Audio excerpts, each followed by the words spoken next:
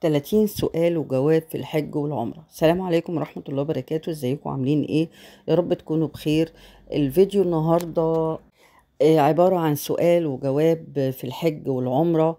آه، عشان لو انت طالعة عمرة لأول مرة أو حج لو طالعة الحج السنة دي أو مخططة لعمرة بعد موسم الحج هتعرفي كل حاجة وأغلب الأسئلة المنتشرة واللي كلنا كنا بنسألها ومش وبنقعد ندور على إجابتها أنا جمعتهم لك كلهم ومن دار الإفتاء كلها فاطمني بإذن الله هتستفيدي من الفيديو ده. بس قبل ما نبدأ like و share للفيديو عشان الكل يستفيد وربنا يجعله في ميزان حسناتي وحسناتكم يا رب العالمين. الحمد لله الذي وسع كل شيء رحمة وعلما وأسبغ على عباده نعما لا تعد ولا تحصى. والصلاة والسلام على نبينا محمد الذي أرسله ربه شاهدا ومبشرا ونذيرا وداعيا إلى الله بإذنه وسراجا منيرا. بعض أحكام الحج والعمرة في صورة, في صورة سؤال وجواب علشان يسهل عليكي معرفة أحكام مناسك الحج والعمرة وهنبدأ بأول سؤال هل يجوز تأخير أداء فريضة الحج مع الاستطاعة؟ الجواب الحج فرض عين على كل مسلم ومسلمة مرة واحدة في العمر متى تحققت شروطه فلا يجوز تأخيره. أول ما تتحقق شروطه أنت مطالبة بأنك تحجي على طول ويأسم من أخر أداء الحج بدون عذر شرعي أو مات ولم يحج مع توافر شروط الحج. حكم الحج بمال حرام أداء مناسك الحج بمال حرام أو مسروق يسقط الفريضة ولكنه حج غير مقبول عند الله سبحانه وتعالى. والله أعلم. ما حكم أداء مناسك الحج عن طريق التزوير؟ الحج الصحيح الحج بيكون صحيح لأن تزوير جواز سفر كما يكتب في مهنته مثلا جزار أو عشان يطلع في الموسم ده وهو ليس كذلك من أجل الذهاب إلى الحج لا يؤثر في صحة الحج ولكنه عليه اسم ويبقى عليه الاسم وهو اسم التزوير. وعليه أن يتوب إلى الله سبحانه وتعالى. ودي فتوى أركان فتوى الابن العثمانيين. ما حكم من مات ولم يقضي فريضة الحج؟ إذا مات المسلم ولم يقضي فريضة الحج وهو مستكمل لشروط وجب الحج وجب أن يحج أحد نيابة عنه في من المال الذي تركه هذا الميت. ولو ما ترى ولو لم يوصى بشيء يعني حتى لو هو ما وصاش برضه يحجوا عنه. ما حكم تكرار العمرة في السفرة الواحدة؟ تكرار العمرة في السفرة الواحدة سواء كان ذلك في رمضان أو في غيره كما يفعله كثير من الناس اليوم من الخروج إلى التنعيم والإحرام من هناك ليس من السنة لأن النبي عليه الصلاة والسلام لم يفعله ولو ولا فعله أحد من الصحابة. ولو كان تكرار العمرة في السفرة الواحدة خيرا لسبقونا طبعا إليه وهم أحرص الناس على الخير.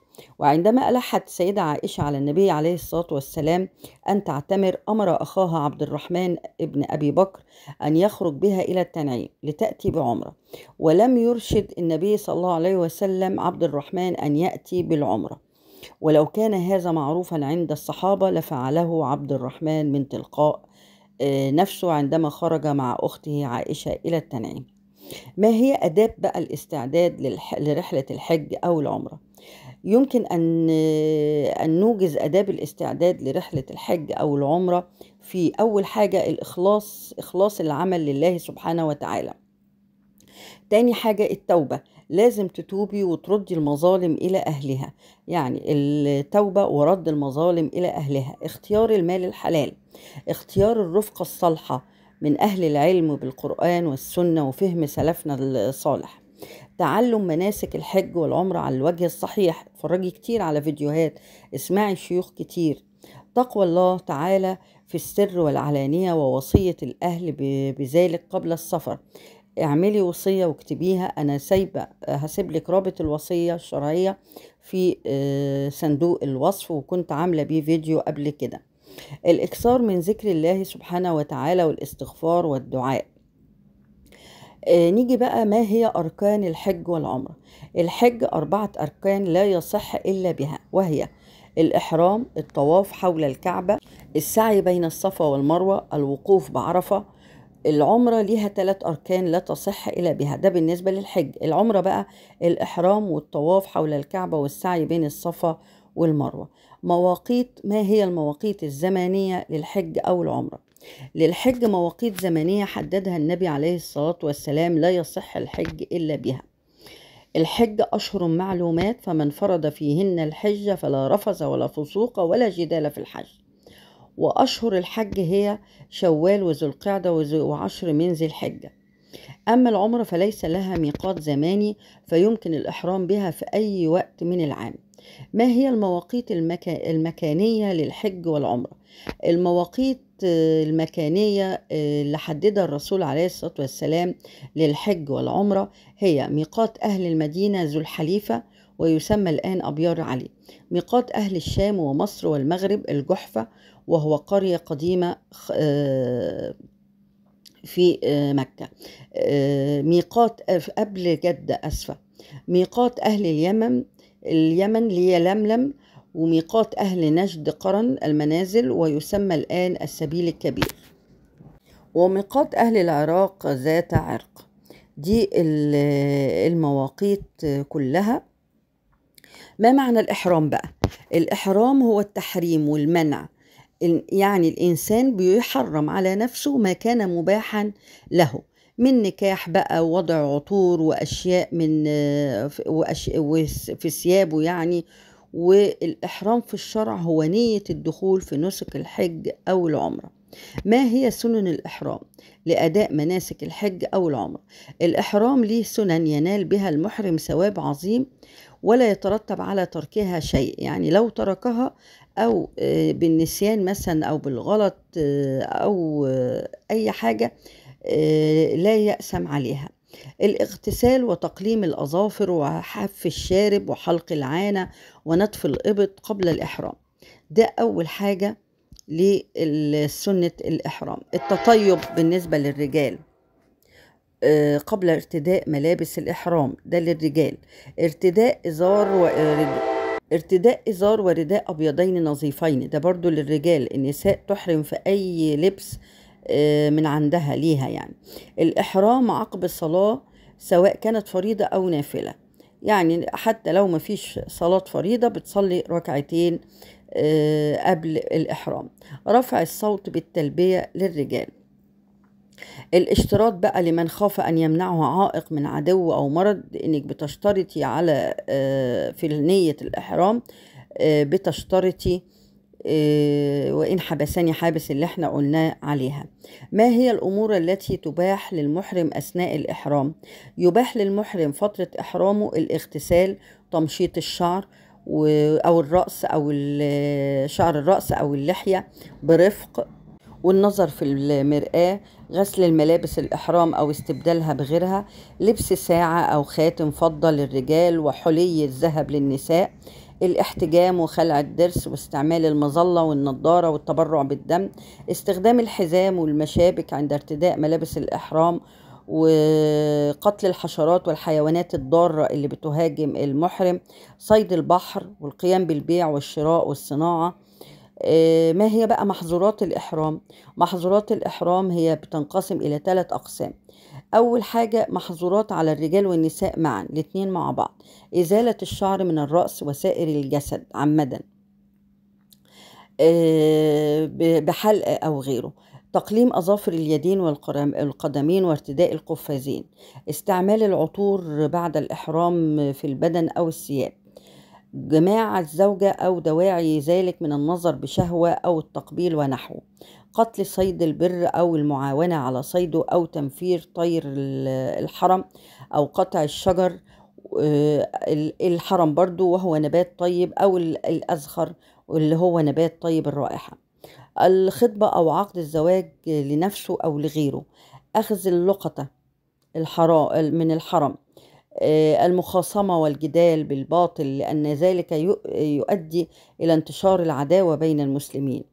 القسم الثاني محظورات خاصة بالرجال فقط وهي ارتداء الثياب المخيطة ويشمل كل الثياب المصنوعة على هيئة أعضاء الجسم بقى. الفانيلا السروال الشرابات كده. تغطية الرأس بملاصقة كالعمامة والطاقية القسم الثالث بقى محظورات خاصة بالنساء فقط وهي ارتداء النقاب آه، بالنسبة أو القفازين بالنسبة للنساء. ما هي فدية ارتكاب المحظورات الإحرام دي؟ يجب على كل مسلم يذهب لأداء فريضة الحج أن يتعلم محظورات الإحرام. فإذا ارتكب أحد هذه المحظورات ناسيا أو مكرها فلا إثم عليه ولا فدية. وأما إن ارتكبها آه، عمدا وجبت عليه الفدية كما جاء في القرآن الكريم وسنة نبينا عليه الصلاة والسلام. فدية قص الشعر والأظافر ولبس المخيط ومباشرة الزوجة بشهوة وتغطية الرأس ووضع الطيب وارتداء النقاب والقفازين للمرأة هي اختيار واحد من ثلاث اللي أنا هقوله. إما الذبح شاء أو إطعام ستة مساكين أو صيام ثلاثة أيام فمن كان منكم مريضا أو به أذى من رأسه ففدية من صيام أو صدقة أو نسك. ما حكم الإحرام للحج أو العمرة في الملابس العادية للرجال؟ التجرد من المخيط من واجبات الإحرام في الحج فإذا لم يتجرد الرجل من المخيط وكان ذلك بعذر شرعي وجبت عليه الكفارة وهو مخير بين أن يذبح شاة أو يطعم ستة مساكين أو يصوم ثلاثة أيام. وأما إذا كان الإحرام في الملابس العادية بدون عذر وجبت كفارة لا يخير فيها وهي ذبح شاة. يعني هي كفارة واحدة وهي ذبح شاة. توزع على فقراء الحرم ولا يأكل منها صاحبها. وبالنسبة للصوم أو إطعام المساكين يجزئ إن, إن, أن يكون في أحد المواضع داخل الحرم أو خارجه. سامحوني على إني بتكلم بسرعة عشان أقدر أجيب لكم أكمل لكم كل الأسئلة. ما حكم آه، ستر المرأة لوجهها أثناء الإحرام؟ إذا احتاجت المرأة إلى ستر وجهها لمرور الرجال من غير محارمها قريبا منها فإنها تسدل ثوب من فوق الرأس يعني ما تلبسش النقاب لكن تجيب حاجة من عند رأسها الطرحة مثلا وتنزلها على وشها إسدال كده آه، من ما حكم من جاوز الميقات بدون إحرام وهو يريد الحج أو العمرة؟ من جاوز الميقات بدون إحرام وهو يريد أداء مناسك الحج أو العمرة وجب عليه لازم يرجع تاني للميقات ويحرم آه، من عنده آه، فإلى ولو ما عملش كده وجب عليه ذبح شاه وتوزيعها على فقراء الحرم. آه، وإن عجز عن الذبح يجوز له أن يصوم عشرة أيام ثلاثة في الحج وسبعة إذا رجع. ما حكم رجل أحرم بملابسه العادية بسبب المرض؟ إذا أحرم الرجل بملابسه العادية بسبب برد أو مرض أو نحو ذلك فهو جائز شرعا ولا يجب عليه صيام ثلاثة أيام ولكن يجب عليه صيام ثلاثة أيام أو إطعام ستة مساكين أو ذبح شاة زي ما قلنا فوق. آه، نية الدخول في مناسك الحج أو العمرة هل هي بالتلفظ بها عند التلبية؟ التلبية هي أن يقول المسلم لبيك اللهم عمرة إذا كان في عمرة أو يقول لبيك اللهم حجا إذا كان في حج وأما النية في جميع العبادات فمحلها القلب ولا علاقة للسان بها. فلا ينبغي للمسلم أن يتلفظ بها فلا يقول مثلا اللهم إني أريد العمرة أو اللهم إني أريد الحج لأن هذا لم يثبت عن النبي عليه الصلاة والسلام ولا عن الصحابة ولا التابعين. عشان كده أنا هم طبعا أكثر منا فهما والفتوى لابن عثمانيين. إيه ما هي صفة التلبية عند الإحرام بقى؟ آه، روى الشيخين عن عبد الله بن عمر رضي الله عنهما أن تلبية الرسول عليه الصلاة والسلام والسلام. لبيك اللهم لبيك لبيك لا شريك لك لبيك إن الحمد والنعمة لك والملك لا شريك لك. ما تنسيش ومعنى لبيك اللهم لبيك أي إجابة لك يا رب. وتعني أيضا أنا مقيم على طاعتك وأمرك غير خارج عن ذلك. ومن السنة أن يرفع الرجال أصواتهم بالتلبية مع الإكثار من تكرارها. وأما المرأة فلا ترفع صوتها من التلبية إلا بمقدار ما تسمع نفسها أو محارمها من الرجال أو رفيقتها من النساء.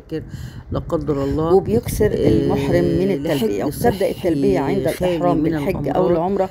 وتنقطع التلبية في آه، العمرة إذا بدأ المسلم في الطواف حول الكعبة وتنقطع للحاج آه، إذا بدأ المسلم في رمي جمرة العقبة الكبرى. يكون فيها ما هي أنواع الإحرام بالحج؟ الإحرام هو نية الدخول في الحج أو العمرة أو هما معا. الإحرام بما في ذلك أدوات أنواع. النظافة الشخصية النوع الأول الإفراد والنوع الثاني القران والنوع الثالث التمتع. أولا الإفراد وهو أن يحرم من يريد الحج يعني من بالإضافة بالحج لكريم واقي من وحده الشمس فيقول عند التلبية لبيك اللهم بحج ويبقى على إحرامه حتى يحل منه جدا. بعد رمي جمرة العقبة الكبرى. يوم العيد ولا يلزمه هدي. ثانيا جدا. وهو أن طيب يحرم المسلم بالحج والعمرة معا من الميقات. فيقول عند التلبية لبيك اللهم بحج وعمرة. على صحتنا. ويبقى على اللي إحرامه حتى ينتهي على من أعمال الحج والعمرة معا ويكفي القارن لحج وعمرته على طواف واحد وهو طواف 15 يوم الإفاضة وسعي واحد ويلزمه هدي التمتع. وتوفير وهو, المناعة وهو أن يعتمر المسلم في أشهر الحج وهي شوال وذو القعدة آه، والعشر بتحتوي الأوائل على من ذو مستحضرات الحجة فيقول عند الميقات لبيك اللهم آه، بعمرة فإذا وصل مكة طاف وسعى للعمرة ثم حلق الأسنان شعره وقصره ثم يحل من إحرامه ويرتدي ملابسه العادية ويظل هكذا إلى يوم التروية الشخصية وهو اليوم الثامن من ذي الحجة. فيحرم من مكانه بالحج وحده فيقول لبيك اللهم بحجة ويبقى على إحرامه حتى يحل بعد رمي جمرة العقبة الكبرى يوم العيد ويلزمه لازم هدي الدكتور أما بالنسبة للقارن يعني هيقولك والمتمتع من أهل الحرم وهم من من كانوا قريبين منه بحيث لا يكون بينهم وبين الحرم إيه مسافة. تقصر فيها الصلاة فلا يجب عليهم ذبح كافية من هدي أدوات أدو آه، حكم استخدام المرأة دواء آه، يمنع الحيض آه، حتى تنتهي من أداء مناسك الحج أدويتك أو العمرة كلها يجوز للمرأة أن تستخدم دواء منع الحيض. طول فترة ال- الحج وحافظي على تناولها وبشرط ألا يضر بصحتها. يعني الشرط طبعا ربنا بيحافظ على صحتنا فالشرط ألا يضر يضر بصحتها لو أنت هتقعدي آه، شهر هتقعدي هكتفي 15 يوم. بالأسئلة خدي دي وهكمل اللي لكم في جزء تاني الفترة شاء الله عشان ما أطولش عليكم. آه، ما تنسونيش من صالح دعائكم. ربنا يتقبل منكم صالح الحج يا رب العالمين. وحج مبرور وذنب مغفور. من ولا تنسوني من صالح الدعاء. والسلام عليكم ورحمة الحراري الله وبركاته. استنوني في الجزء الثاني نتيجة الوقوف في الشمس فترات طويلة جدا. والشمس هناك عالية جدا. آه، أعراض ضربة الشمس هي الصداع والدوخة والدوار جفاف أو احمرار البشرة ضعف العضلات الغثيان والقيء آه، تسارع نبضات القلب صعوبة في البلع والتنفس فقدان الوعي. هنقي نفسنا منها إزاي عشان. آه، تقي نفسك من ضربات الشمس. هتتجنبي طبعا التعرض المباشر لأشعة الشمس. هتستخدمي المظلات ال- الشمسية ال- البيضة اللي لونها فاتح عشان تعكس أشعة الشمس. اشربي كميات كبيرة من السوائل عشان تعوضي السوائل المفقودة. آه، اقعدي في أماكن آه، ظل وفي المبردات.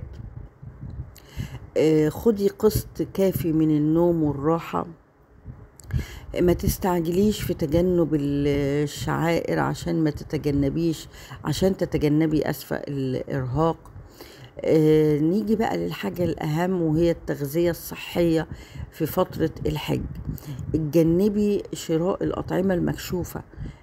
عشان ما تصابيش بنزلة معوية. اغسلي الفاكهة والخضار حلو جدا قبل ما تاكليهم.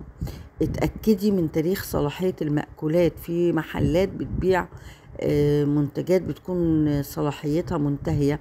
فخلي بالك من الموضوع ده واقري دايما صلاحية أي حاجة هتجيبيها. كمان غسل الإيدين بالمية والصابون قبل تناول الطعام ده مهم جدا.